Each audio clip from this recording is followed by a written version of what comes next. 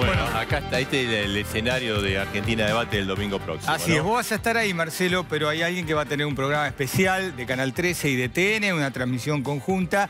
Es Jorge Lanata, de 8 a 9 la previa del debate, eh, después el debate y el después posterior el análisis, todo el ¿no? Va a ser un análisis. Así que la muy estrella importante, ¿no? Va a ser Jorge Lanata después del debate y antes del debate de los presidenciales. Eh, bueno, Jorge, eh, ¿cómo te... eh, bueno, una transmisión especial, ¿cómo va a ser el domingo?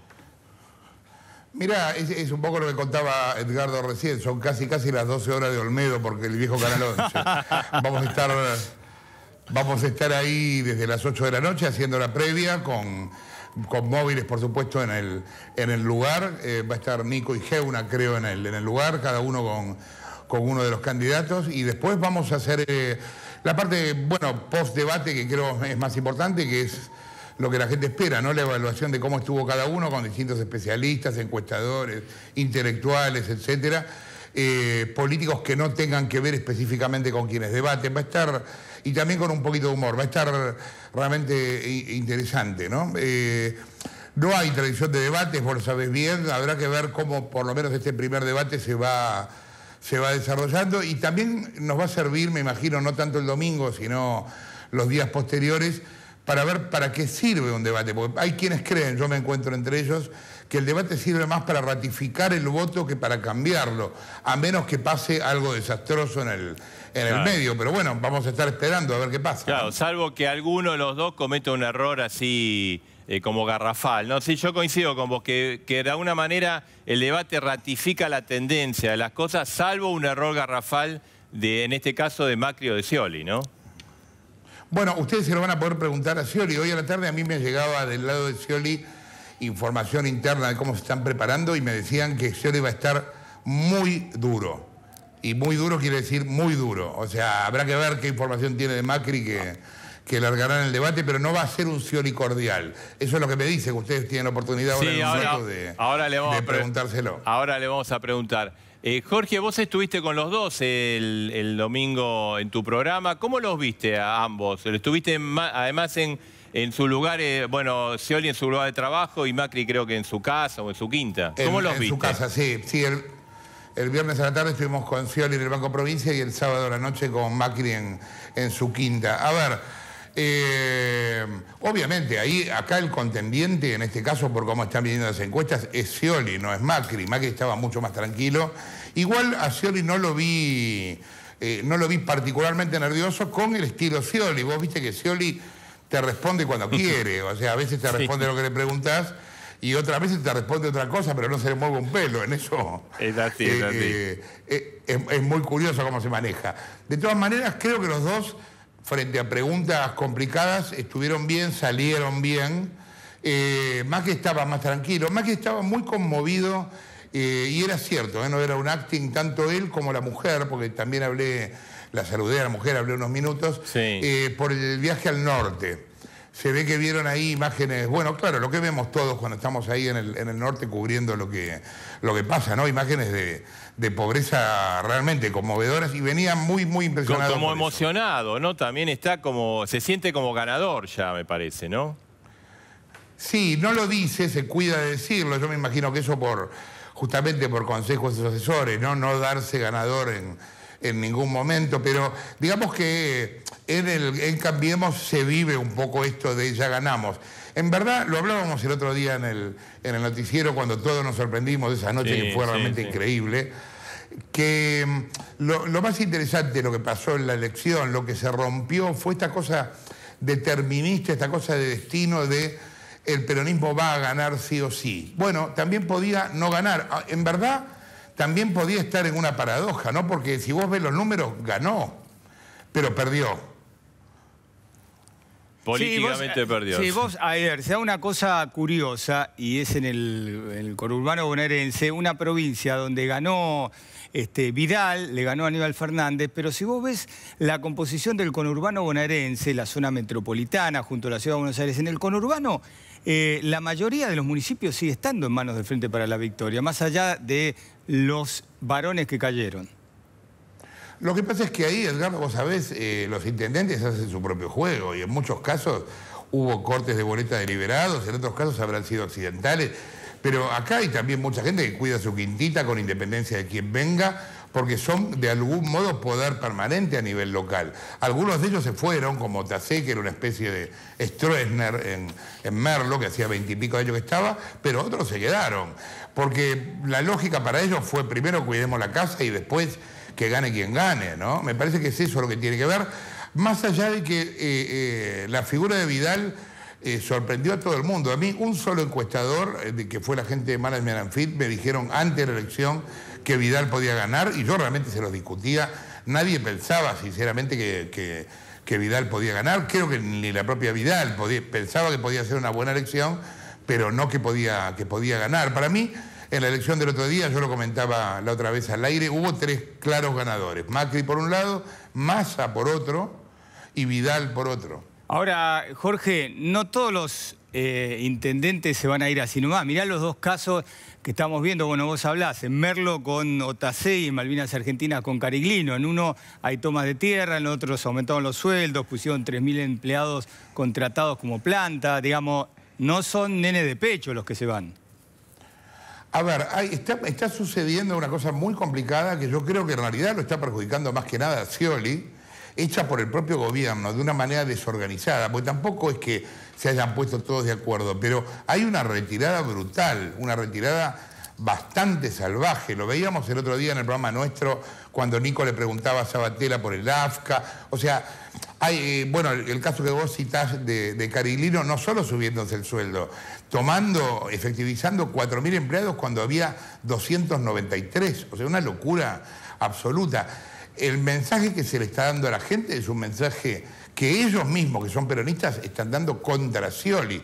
Es un mensaje realmente que, los perjudica. Lo mismo con el tema de la toma de terrenos en Merlo, porque yo decía el otro día en la radio cuando todo esto empezó, miren, agarré la guía, llamé por teléfono al conmutador de La Plata de la Casa de Gobierno y pregunté, ¿quién es el gobernador? Me dijeron Scioli. este es un problema de Scioli, no es un problema de Vidal que asume en diciembre. O sea que, en realidad, lo que estamos viendo también es una batalla de peronistas contra peronistas, de kirchneristas contra peronistas a la vez. O sea, es una batalla bastante desorganizada. Hoy, yo decía en el monólogo el domingo, el peronismo está asustado. Creo que esto es así en efecto en todos los casos, pero lo que esto está produciendo es falta de liderazgo, falta de jefatura. Es muy difícil decir hoy, no sé cómo lo ven ustedes, quién maneja el peronismo. Creo que hoy no lo está manejando nadie. Hay distintos sectores que están en pugna, digamos. No, claro. Y decime, para vos, eh, Cristina, ¿quién quiere que gane? Scioli o Macri? O sea, ¿qué, le hace más fácil a ella ese sueño de volver? Mira, yo, a ver, primero yo creo que Cristina está, empezó, a pesar de que en realidad lo hace desde hace tiempo, pero ahora puntualmente empezó a pelear con la historia más que con cualquier otra cosa. O sea, Cristina está peleando para ver qué lugar va a quedar de ella y del kirchnerismo en general. Y un dato chiquitito de eso es cuando ella habla del porcentaje por el que ganó, ya está mintiendo ya dice 55 en cambio de 54. O sea, ella está peleando contra el recuerdo que de ella va contra el recuerdo que de ella va a quedar. A ver, si ella piensa en ella misma y en verdad se ha caracterizado por eso, yo creo que a ella le conviene que gane Macri, no que gane Scioli, para poder volver después, porque ella se imagina un gobierno caótico, el peronismo en la oposición y después ella volviendo. Ahora, yo te pregunto, y me pregunto a mí mismo, ¿Alguien le va a dar bola a Cristina después del 11 de diciembre? Yo creo que no entran dos... Yo creo que no entran dos en un sillón, ¿viste? Claro, y además me parece que ese plan eh, tenía como algo central ganar la provincia de Buenos Aires y ahí eh, abroquelarse, ¿no? Y al perder eh, el candidato de Cristina, Aníbal Fernández, en la provincia de Buenos Aires, ese plan ha sufrido un golpe duro, por ahora, ¿no? Es que, eh, mira, a ver, no es, no es loco que eh, Macri, si gana, intente, de hecho un poco lo sugiere en la, en la nota que nos dio el otro día, intente alinear a los gobernadores, en principio de signos parecidos, Córdoba, Santa Fe, etcétera, y después gobernadores del PJ. Porque, a ver, igual que los alineó en su momento Kirchner cuando también eh, eh, pierde la elección con Menem, pero termina siendo presidente, ¿no? Porque también en ese caso pasó algo parecido, ¿no? Menem gana por creo que 24 y Kirchner 22. Eh, ¿Cómo los ordena Kirchner? ¿Cómo hace para superar el 22? Los ordena a billetera. Y los gobernadores están con los mismos problemas que tienen los intendentes, o sea, cómo pago los sueldos, de dónde saco la guita, cómo consigo créditos. O sea que en algún lugar a billetera se van a ordenar con ah. Macri o bueno, o con Scioli, obviamente, ¿no? El tema es el ordenamiento político, Jorge, porque un peronista se subordina solo a otro peronista, por lo menos la historia marca eso. Fíjate que después de la época de Luder, Lorenzo Miguel, Mino Iglesias, apareció Menem, a Menem lo siguió Dualde, a Dualde lo siguió Kirchner, y, eh, pero digamos, es bastante difícil imaginar el peronismo alineado con un no peronista. Es cierto, bueno, quizás sea la primera vez que lo veamos, pero me parece que, es algo que va a terminar pasando si Macri, si Macri gana la presidencia. En cualquier caso, el rol de los gobernadores, en este caso, gane Macri o gane Scioli, va a ser crucial. De hecho, Scioli intentó ya desde ahora alianzas con distintos gobernadores porque sabe que de esa manera va a poder eliminar del todo el poder residual de, de Cristina y la Cámpora. Lo que yo creo que se termina con esta historia es el kirchnerismo organizado como tal. Digamos, al estar fuera del poder, eh, y más organizaciones como la Cámpora que se armaron de arriba para abajo, o sea, se armaron con guita, más que con militancia. Se armaron con militantes rentados. Va a ser muy difícil mantener esa, esa estructura, y menos el poder de esa estructura. Claro, no, por supuesto. Y vos, eh, vos lo señalabas, lo señalabas el domingo de, la elección y recién lo dijiste, el tema de masa. O sea, masa vos decís que todo un protagonismo, porque bueno, los votos, eh, eh, gane quien gane, no va a tener mayoría en diputados, va a haber que aprobar leyes, algunas quizás complicadas. ahí vos lo ves a masa teniendo un rol, o sea, lo ves a masa negociando con el que gana, cuotas de poder, ¿cómo, cómo lo ves? Mira, yo lo veo primero a Massa eh, con algo que parece importante, pero que en el fondo no es tan importante, que es manejando el partido. Claro. En muy poco tiempo, en un año o en dos años. Es más que nada simbólico eso. Yo creo, por la información que yo tengo, Massa ya está hablando con la gente de Vidal y están viendo cómo acercar a, eh, segundas o terceras líneas. Eh, Massa acá es el tercero en discordia, es el tipo que va a decidir las elecciones. y a la vez no era su momento, pero es un tipo muy joven. Digamos, eh, yo por eso te decía que para mí es como uno de los tres ganadores de la elección del otro día. Porque hizo una carrera en un momento muy buena, después se la creyó, fue para atrás, pero remontó y ahora lo que tiene es para adelante. Eh, Jorge, hablamos de dirigentes, pero ¿cómo ves vos a la sociedad argentina en este momento frente a Scioli, frente a Macri, en este proceso electoral, en este proceso de cambio?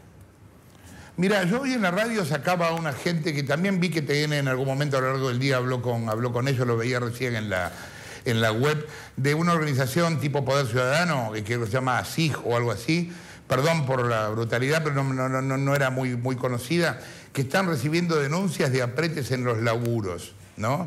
Y me contaban que es increíble cómo en el Estado están apretando a la gente para que vote por, por pero incluso con reuniones presenciales, daba, dos casos puntuales, que eran los que encabezaban las denuncias, de Tomada y de Sileoni, que yo realmente no me imaginaba a Sileoni arengando para el voto obligatorio, pero parece que también Sileoni estaba, estaba en esa historia.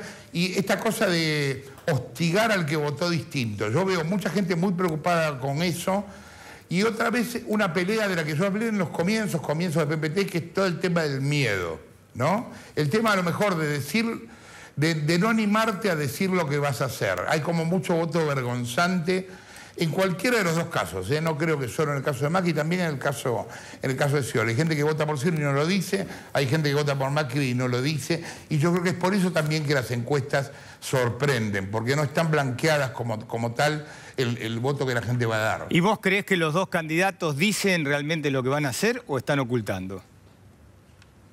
Esta es una elección. En una elección estás siempre pensando en los reyes, en el pastito, en los zapatitos. Después te das cuenta que los reyes no existen. Pero digamos, en eso esta elección no cambia. Diga, a ver, para hablar de cosas puntuales, hay problemas, Marcelo esto lo conoce mucho mejor que yo, hay problemas económicos que no es una cuestión de si son de derecha, de, si son de derecha, de centro o de izquierda, son de matemática. Seguro, ¿no? El Banco Central El Banco Central lo único que tiene son los pisos lustrados, como me decía un amigo hoy a la tarde. No tiene nada.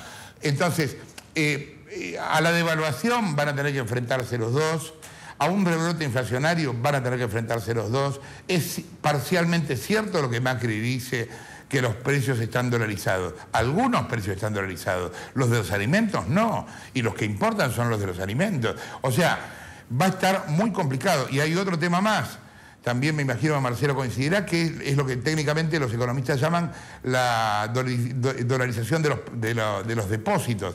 Están venciendo en los próximos días cientos de millones de pesos que, hay, que hay que ver si se van al dólar o no, qué va a pasar con el tema del paralelo. O sea, no enfrentan un país fácil, ninguno de los dos gane quien gane, y tampoco parecen tener, por lo menos parecen tener, soluciones muy distintas. Yo creo que la mayor diferencia es la gradualidad, pero no hay mucho más que eso. Sí, no, es, es así, ¿no? Y como vos decís, hay problemas económicos que surgen de las matemáticas, no de una cuestión de, eh, visión. Ahora, Jorge, vos fuiste una de las personas que lideró las denuncias contra corrupción, ¿no? Eh, y, puso este tema a, la discusión eh, de la sociedad.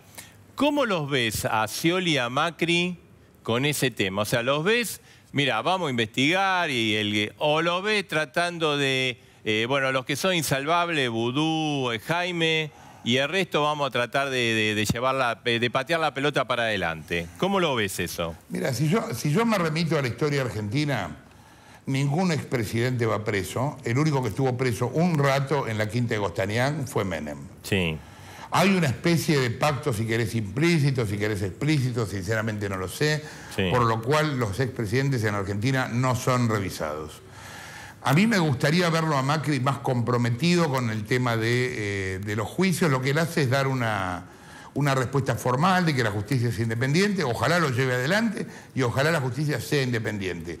No escucho a Scioli hablar mucho del tema. También, sinceramente, más allá de que uno lo vote o no, creo que para la Argentina sería bueno que hablara del tema y que se, lo tomara en serio en el sentido de que tiene que haber casos ejemplificadores que vayan más allá de Jaime y Vudú, porque lo que tanto Macri como le Gane quien gane necesitan es reelaborar una mística. Ellos necesitan que la gente vuelva a creer.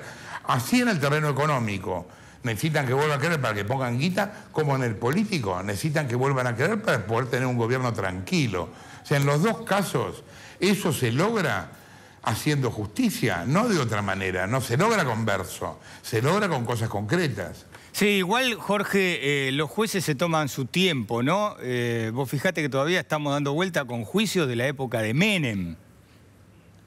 Bueno, sí, claro, los jueces, eh, no es nuevo esto, los jueces han sido permeables, para usar una metáfora generosa, de distintas maneras, ¿no? Así como en la época de Menem eran permeables más a la plata que a otra cosa, en esta época fueron permeables a las amenazas. Eh, eh, capaz circuló menos plata entre los jueces, pero circuló mucha más amenaza en el sentido de te voy a joder la carrera, no te van a ascender, etc. Y los jueces fueron permeables a eso en su gran mayoría, desgraciadamente. No es nuevo en los jueces federales argentinos pisar las causas y tenerlas después como modo de defensa cuando el gobierno pierde poder. Digamos, no estamos contando ninguna novedad. Yo lo que espero es que alguna vez la justicia sea realmente una justicia independiente y no se discuta la Corte como un River Boca, sino que se discuta realmente por antecedentes y por prestigio. No, no, seguro. Eh, igualmente hay causas que realmente, como por ejemplo la de Autesur, no sé de qué se van a disfrazar los jueces si no avanzan en la investigación. Por más que desde el poder político sea Macri o Scioli, eh, no quiera, no haya un pacto, o mira, no nos metamos con la presidenta. Eh, no sé, me parece que eso tiene una dinámica propia y además hay mucha gente... Marcelo, vos sabés, sí. Eh, yo, estuve, yo estuve muy cerca de la causa Tesur, desde la causa Tesur empezó. Nosotros, o sea, yo he visto, yo mismo he pasado por la televisión cosas que no creí que nunca iba a pasar, como por ejemplo el momento en el que se robaban las pruebas en la Rosadita, o sea, ver eso por la televisión y que Casanero no hiciera nada, eh, lo de la ruta del dinero, lo de los hoteles, digamos, todo eso es absolutamente vergonzoso y yo te diría casi pornográfico y en verdad todos decimos que nos importa, pero se ve que tanto no nos importa porque la gente, la opinión pública en general, no ha hecho mucho frente a esto. Yo creo que la gente estaría preocupada por el tema habría un millón de personas en la calle, no nosotros hablando por la tele. O sea, en algún punto a la gente le preocupa, en otro punto lo justifica, lo disculpa o sinceramente no le interesa mientras le va bien a ellos. Eh, es complicado el tema. Yo, yo creo que tenemos que pensar en la justicia y no solo en la justicia en la Argentina para las próximas décadas, no solo para la semana que viene o el año que viene. Alguna vez esto tiene que ir en serio. A lo mejor esta, este, este nuevo gobierno es la oportunidad de empezar en serio alguna vez. No, no lo sé, ojalá lo sea. Eh, eh, Jorge, no, te quería hacer una, una última. Hoy, hoy escuchaba en la radio, estaba muy interesante el debate sobre el tema de las tierras ocupadas, ¿no? Eh, ah, sí. que hubo, en el sentido, pues ahora después lo vamos a tratar con varios intendentes que han ganado, tanto del Frente para la Victoria como del Cambiemos, del tema de ocupar bueno, un, terreno que es de propiedad privada, ¿no? Y ahí tuvo una discusión, porque a su vez la gente que está ahí tiene una gran necesidad. Es que, bueno, de eso, eso tratamos, nos pasamos una hora hoy en la radio hablando de eso y eh, terminó siendo, viste, esas conversaciones que no te bajás del auto porque estás enganchado escuchando. Yo lo que, yo lo que planteaba en, la base, más allá de lo de Merlo puntualmente, obviamente, a ver, ¿quién no se va a solidarizar con la gente de Merlo? Pobre gente, no tiene laburo, o las que tienen laburo en negro, eh, tienen un montón de hijos, no tienen casa, cualquiera se solidariza. Ahora, la pregunta era, ¿hay que validar la vía de hecho? Y bueno, claro, cuando lo llevas ahí, nadie está de acuerdo, porque eso podría traer consecuencias completamente locas. Digamos, hay que validar que el que llega a un lugar se instale y se ponga ahí y pase a ser de él. Y bueno, es complicado. Te digo esto porque en algún momento se usó con lo de Merlo el tema de si estaba o no baldío el terreno. Y aunque el terreno esté baldío o repleto de joyas, es de otro. Entonces, está bien, está mal, era eso lo que lo que yo planteaba en la discusión y teníamos, como nos pasa siempre en el equipo, por supuesto, posiciones muy distintas. Yo creo, ojo, también con eso una cosa, no creo que solo lo de Merlo, pero si ese tipo de situaciones, como lo de Merlo, en los próximos 15 días, se primero creo que lo de Merlo es algo que armaron los peronistas y que perjudica al candidato peronista. Me parece que Scioli tendría algo que decir sobre esto porque está yendo en contra de él. el gobernador es él. Le vamos a preguntar. ahora, fuera, eh, ok, ahora, fuera, fuera de eso, la repetición de esos hechos puede llegar a influir, a lo mejor levemente, pero influir en la elección. Porque también el caos puede volver más conservadora a la gente. Jorge. Bolas como las de los, bolas como las de los servicios que tiraron la otra vez de un grupo de Alqueda bombardeando un shopping. Lo único que hacen es, generar, es generar locura social en base a la nada, en base a humo, y yo creo que en el fondo están dirigidas políticamente, ¿no? Sí, me, te digo, me vino muy bien porque ese día fui al shopping. Como no había nadie, dije, voy a ir hoy.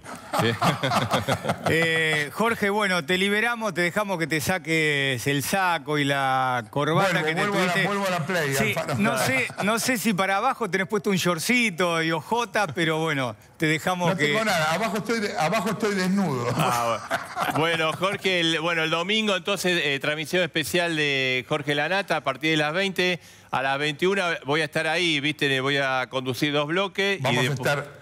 Vamos a estar viéndote. Dale, dale. Y después hacemos el debate del debate. Lo único que espero es no cometer errores, viste, en ese momento. No, tranquilo, tranquilo, te va a salir bien. Un abrazo, viejo. Pasala bien, saludos a la familia.